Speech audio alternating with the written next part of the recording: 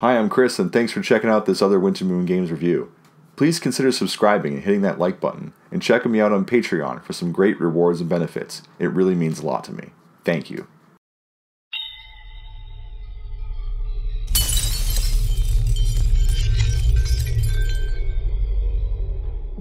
Hello, everyone. I'm Chris, and welcome to another episode of Winter Moon Games Tabletop Reviews. You'll notice that I'm wearing my Love Thy Nerd shirt. I just want to say that this video is not officially a Love Thy Nerd video, although they do put out a lot of great video and written and audio content for nerds and nerd culture, so definitely check out Love Thy Nerd. I support them monthly, and I also am a member of Love Thy Nerd. It's just loving nerds of all shapes and sizes, and you'll see them at conventions, and you know, feel free to go over and say hello. I'm sure they'd love to talk to you. Today, I'm excited to have Noir Automata in front of me. Not to be confused with Nier Automata, which is also supposed to be a great game.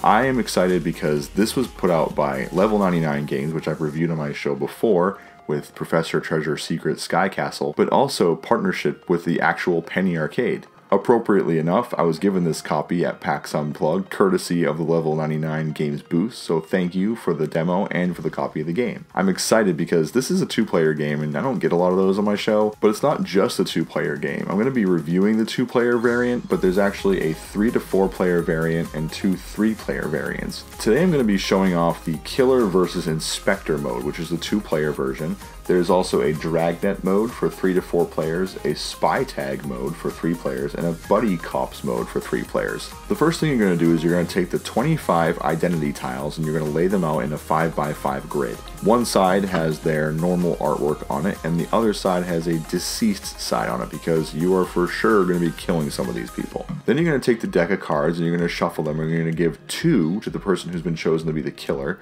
and you're going to give 3 to the person who's been chosen to be the inspector. The the killer takes one of the cards he has and puts it aside and keeps the other one in their hand. The inspector is going to choose one of the characters from the three, or you can choose randomly, I suppose, and you're going to put it in front of you face down. These cards are going to be played face down. They may be face up during this review, but they're always played face down until further notice.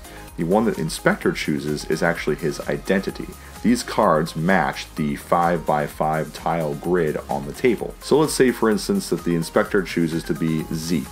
Zeke is in this grid, he's actually over here in the second row, so that is the inspector's identity for the entirety of the game. Now the killer, on the other hand, gets an identity and a disguise. They're both going to be people on the 5x5 grid, again, same exact concept. I have Ursula and I also have Rita. So I'm going to just start because Ursula's in my hand, this is my identity, and Rita is going to be my disguise, and I'll explain a little bit more about that as we go. Now, I'll kind of take on the role of both the inspector and the killer, obviously for demo purposes. So, the first thing the killer is going to do is they're going to kill someone. They have to flip that tile over. Now, they can only kill someone that is adjacent to the card they are currently holding in their hand. So, in my case, Ursula. So, Ursula is way down here in the bottom left hand corner of the grid, which is a bit problematic for me because that means I can only kill these three people that are adjacent to me right now. Adjacent actually means up, down, left, right, or diagonal. So, with Ursula, not all hope is lost because I can kill Jimmy, and if I kill Jimmy, flip his tile over to the deceased side. Now, the inspector knows that I would have had to be someone adjacent to Jimmy in order to kill him. Now, that's the killer's turn. Now, on the inspector's turn, he can do a number of different things, but one of his main components is something called exonerating. If I have these two cards, Nixie and Gloria, in my hand as the inspector, I know that these two people are not one of the killer's identity. Therefore, on my turn, I would take, let's say, Gloria, and I'm going to place Gloria on her matching tile on the table, and she is now marked as innocent. Now, what that does is I'm saying to the killer, okay, I've exonerated Gloria, so if I was any of these people around Gloria, I would have to say yes. When I'm asking the killer if he's adjacent to Gloria, what I'm asking if it's that's the card that's in his hand currently, not his disguise, which I'll get into in my next explanation. In this case, the killer would say, no, I'm not adjacent to Gloria, because I'm way down here as Ursula, so they're way off. So that's the end of their turn, and now it's the killer's turn again. Now there's a couple other things that both the inspector and the killer can do other than kill and exonerate. Those are shift and collapse. Shifting and collapsing actually allows you to move tiles around to either reposition tiles of your choice or make it a little bit easier for the inspector to narrow down who you are. To shift, all you do is you pick a row or a column and you slide everything in one direction. And you take the tile that fell off and you just move it to the end. Collapsing is a little bit trickier and actually requires you to have at least one dead person in every column or every row.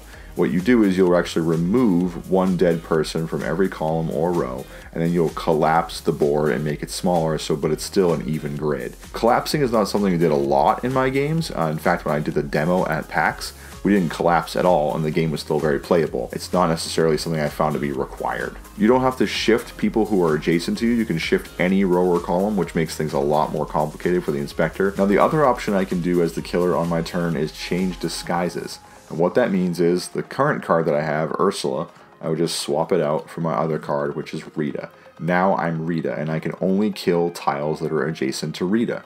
Ursula is no longer in play for now. The bluffing comes into play a little bit for the killer here because you don't actually have to change disguises when you say you are changing disguises. You can pretend you did and I can just remain Ursula and he'll be none the wiser. In fact, what's funny about this is I just realized that Rita in this grid is right next to Ursula, so this makes my life a lot more difficult because they're both in the very same corner. So I would have to do a lot more shuffling around before I probably decided to kill anyone again. Now, as the inspector's turn, there are two more things that he can do on his turn. One is accuse and one is solve. They are very different things. Now, if you'll remember from the setup, Zeke has been chosen as the inspector's identity. Now, if any point the killer kills Zeke, the game is over and the killer wins. But he's still alive in this demo, and to accuse someone, he can only accuse, as the inspector, someone who is adjacent to Zeke. Now that's dangerous for the inspector because what that does is it reveals to the killer that whoever was just accused is also adjacent to the inspector, therefore narrowing it down and making it easier to potentially kill the inspector. Now solving the crime is a very different story. Solving is when the inspector believes they know exactly who the killer's identity is and secret disguise. To solve the crime and win the game, the inspector has to name the exact two identities on the side of the killer, which means he would have to name Ursula and Rita at the same time. If he is wrong about either guess, the game is over and he loses. Likewise, if at any point the killer kills 10 people, the game is over and the inspector loses. So there's a lot more ways for the inspector to lose. The killer definitely has an advantage.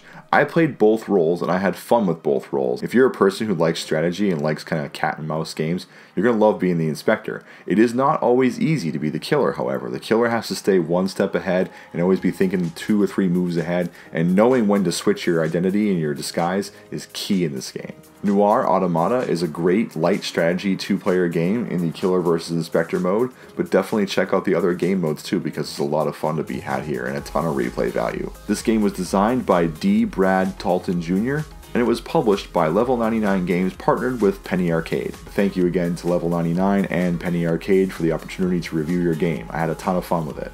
Based on just the two player game variant alone, I'm going to go ahead and give Noir Automata 5 out of 5 moons, a perfect score. As always, you can check out more Winter Moon Games tabletop reviews at wintermoongames.com slash reviews. Find me on your social media platform of choice, Facebook, Instagram, Twitter. If you have a comment about Noir Automata or you'd like me to review or preview your game, send me an email to cb at wintermoongames.com. I would love to hear from you. Please consider subscribing to this channel and liking this video, and even consider supporting me on Patreon. It really helps me out and I really appreciate it. Until next time, my name is Chris, and thanks very much for watching.